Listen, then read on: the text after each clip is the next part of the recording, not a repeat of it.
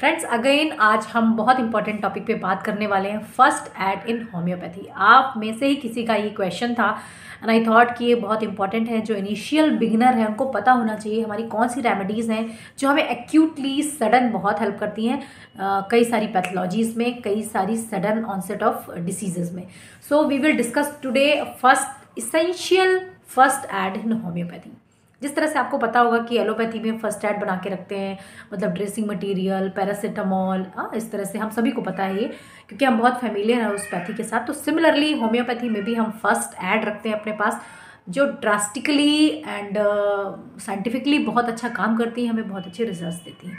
So stay tune for complete video friends welcoming you all in my page learn homeopathy with doctor Jyoti Tiwari यहाँ पर सिर्फ़ मेरा एक ही aim है होम्योपैथी को वर्ल्ड वाइड स्प्रेड करना सही होम्योपैथी को स्टैब्लिश करना सही लोगों को गाइड करना।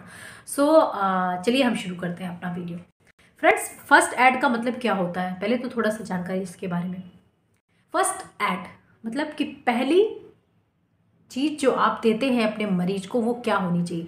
जैसे कि आ, किसी को भी अचानक से सडन कोई भी बॉडी में इफ़ेक्ट आ गया एकदम से फीवर आ गया, एकदम से सिर दर्द हो गया, एकदम से कोई गिर गया फॉल हो गया, उसे इंजरी हो गई।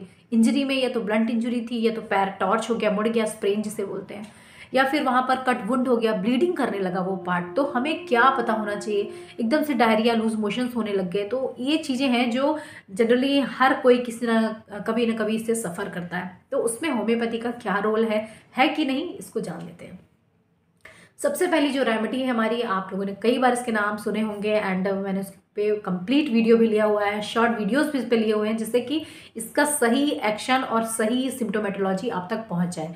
तो देखिए एकोनाइट का प्रिस्क्रिप्शन हम कब करेंगे? एकदम से किसी को फीवर आ जाए। सडन ऑनसेट ऑफ़ फीवर और हैडिक एकदम से किसी बात को लेके कोई ग्रीफ हुआ, कोई सरप्राइजिंग या कुछ इस तरह से हुआ, जिससे पेशेंट को मेंटली अफेक्ट हुआ, और वहाँ पर फिजिकली भी नॉट ओनली मेंटली फिजिकली भी ड्राफ्ट अवे या ठंडी हवा लग गई कुछ भी इस तरह से हुआ कि फीवर आ गया।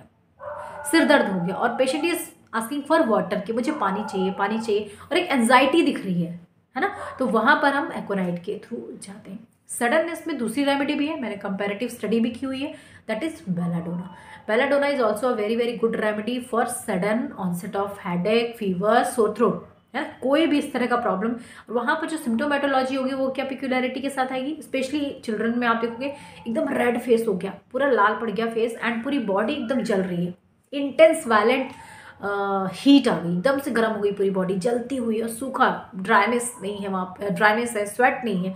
तो वहाँ पर हम बेनाडोना के थ्रू जाते हैं। This two are very very essential and very close so we need to differentiate between this two remedy differentiation के लिए मेरा वीडियो ज़रूर देख लीजिएगा। पड़ा हुआ है वहाँ पर मेरे चैनल पर नेक्स्ट जो हमारी रेमेडी रहेगी, वो किस बारे में ले लें अपन? आर्निका ले लेते हैं। Yes yes. क्योंकि इंजरी में भी टाइप ऑफ़ इंजरीज होती है। जैसे ब्लंट इंजरी हो गई, किसी को एकदम से कोई हैवी ऑब्जेक्ट आकर के गिर गया बॉडी पार्ट में लाइक सिर में गिर गया पेशेंट एकदम शॉक में चला गया। या शोल्डर में, पैरों में, कहीं भी बॉडी के किसी पार्ट में कोई हैवी ऑब्जेक्ट भारी सामान 25 किलो 50 किलो, एक क्विंटल का गिर गया, और उसके बाद जो पूरा पार्ट है ना, वो ब्लू पड़ गया। पूरा जो ब्लड है, वहाँ पे रुक गया and plot part became blue पूरा नीला पड़ गया। और वहाँ पर पेशेंट शॉक में जा रहा है, उसके बाद भी कह रहा है आई एम गुड मुझे कुछ नहीं हुआ, मैं ठीक हूँ। और एकदम से वो बेहोश हो जाता है। तो ऐसे सिचुएशन में हम आर्निका के थ्रू जा सकते हैं but this symptom need great observation right तो इसको आप स्किप मत करिएगा। जब आप ऑब्ज़र्व करें, आप समझ पाए, क्योंकि देखिए, जो इमीडिएट रेमेडी है फ़र्स्ट एड की बात कर रहे हैं हम, यहाँ पे आपके पास टाइम नहीं है केस टेकिंग का। तो क्या होम्योपैथी काम नहीं करेगी? बिल्कुल काम करेगी।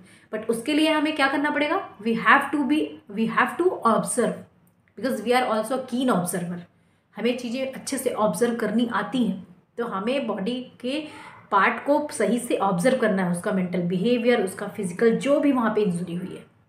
अदर इंजुरी अगर स्प्रेन आ गया, पैर मुड़ गया एकदम से तो हम रस्टॉक्स के थ्रू जाते हैं रूटा के थ्रू जाते हैं, पहले कदम पेशेंट रख ही नहीं पा रहा और फिर अगर रख के चल रहा है धीरे धीरे थोड़ा सा रिलीफ लग रहा है, या फिर स्प्रेन में आप देखोगे तो पेशेंट को रिलीफ नहीं लगता तो इमीडिएट इफ़ेक्ट के लिए आप टू हंड्रेड पोटेंसी में रिपीटिशन के साथ दे सकते हो रस्टॉक्स राइट अदर इंजुरी की और बात कर लेते हैं, अगर एकदम से कट लग गया ब्लीडिंग होने लग गई राइट या जो सर्जिकल वुंड होते हैं, है ना? वहाँ पर ब्लीडिंग हैवी ब्लीडिंग होने लगी।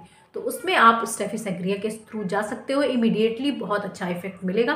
देन जब तक पेशेंट अब हॉस्पिटलाइज हो सकता है, उसको सारी चीज़ें मिल सकती हैं, फिर अपन case taking and all through ये सब चीज़ें कर सकते हैं। So these three remedies for injury are very very important इन्हें बहुत अच्छे से डिफ्रेंशिएट करिए, इन्हें समझिए और फिर अपनी प्रैक्टिस में यूज़ करिएगा। नेक्स्ट बात कर लेते हैं डायरिया की लूज मोशंस की। आप कहीं बाहर जाते हो पार्टी में गए या हम कहीं टूर पे जाते हैं ट्रैवल पे निकले और वहाँ मोशन लग गए, है ना? अब वो जो मोशन लगे, उनके लिए कौन सी रेमेडीज़ होनी चाहिए, उनके पीछे कारण क्या? कारण तो एक हो सकता है हैवी डाइट आपने फैटी फूड्स ज़्यादा ले लिए फ्राइड ज़्यादा ले लिए। ऐसी कंडीशन में जहाँ पे पेशेंट थर्सलेस रहे, वहाँ पर आप पल्सिटिला के थ्रू जा सकते हैं। या फिर ऐसा खाना जो बासी था पेशेंट होता ना अपन कई बार बाहर गए और उन लोगों ने सुबह का शाम दे दिया या कुछ ऐसा जो जिसे अपच बोलते हैं कि इनडाइजेशन हो गया, वो खाना पचा ही नहीं, वो या तो सुबह का था या तो कल का, जिसे कौन सा फ़ूड बोलते हैं? एग्जैक्टली वर्ड नहीं आ रहा मुझे। तो ऐसे फ़ूड में आप आर्सेनिक एल्बम के थ्रू जाते हैं या फिर flatulence high flatulence with constipation और इनडाइजेशन किसकी वजह से? फैटी फ़ूड की वजह से। तो आप वहाँ नक्सवामिका के थ्रू जा सकते हैं। These are very close remedy जिन्हें समझना बहुत ज़रूरी है डिफ्रेंशिएट करना ज़रूरी है। That's why I am taking name of this remedy और जानकारी चाहिए कि भाई नक्सवामिका का क्या रिएक्शन आएगा आर्ट्स का क्या आएगा तो हमारे वीडियोज़ हैं मेरे लर्न होम्योपैथी चैनल पर आप उसको जा करके देख सकते हैं। Podophyllum is also very good remedy कई बार लोगों ने पूछा कि इसके लिए क्या कर सकते हैं। तो देखिए, हमें सिम्टोमेटोलॉजी तो चाहिए ही ना। पेशेंट के सिम्टम्स चाहिए। वॉटरी डायरिया एकदम फ्लुएंट डायरिया हो रहा है, चार, पाँच छः कॉजेशन आपको पता नहीं है, एकदम वाटरी है ऑफेंसिव है तो आप पोडोफाइलम के थ्रू जा सकते हैं। जो पी वाली बात करी थी आपने कि फोर पी या फाइव पी रहता है उसमें तो यस आप उनके थ्रू पोडोफाइलम का प्रिस्क्रिप्शन कर सकते हो। अदर रेमेडी है एकदम से वायलेंट हेडेक या फीवर हो जाए तो वहाँ पर एकोनाइट बेलाडोना तो थी ही। साथ में आप other remedy like arsenic album रख सकते हैं। ऐसी रेमेडी जहाँ पर पेशेंट को एकदम से एनजाइटी डेवलप हो जाए, किसी भी बात से। कई बार लोग ट्रैवल करने जाते हैं या घर पे कोई बात हो गई तो एकदम से उनके अंदर एनजाइटी हो जाती है, एकदम पैनिक हो जाते हैं, परेशान हो जाते हैं, इधर से उधर माइग्रेट करने लगते हैं और उससे भी उनको रिलीफ नहीं मिलता है। बार बार पानी की प्यास लग रही है, थोड़ा सा एक घुट पिया, फिर छोड़ दिया, घुट पिया, फिर छोड़ दिया। तो ऐसे पेशेंट के साथ हम आर्सेनिक का प्रिस्क्रिप्शन करते हैं बट हमें जो पेशेंट है, उसको सही से ऑब्ज़र्व करना, उसके सिम्टम सही से कलेक्ट करना बहुत बहुत ज़रूरी होता है। तो ये कुछ छः से सात रेमेडी थी जिनके बारे में मैंने डिस्कस किया। और भी रेमेडीज़ हैं जो हमारी फ़र्स्ट एड किट में होना चाहिए, जो इसेंशियल है बट ये प्राइमरी फ़र्स्ट इसेंशियल थे that's why I share with you and I hope कि आपको ये वीडियो ज़रूर से पसंद आएगा। होम्योपैथ्स जो हमारे बिगिनर्स हैं, उनको काफ़ी हेल्प करेगा। अगर वीडियो अच्छा लगेगा तो कमेंट ज़रूर करिएगा। और नेक्स्ट किस टॉपिक में आपको वीडियो चाहिए, मुझे ज़रूर बताइएगा। So this is all for today friends. Thank you so much.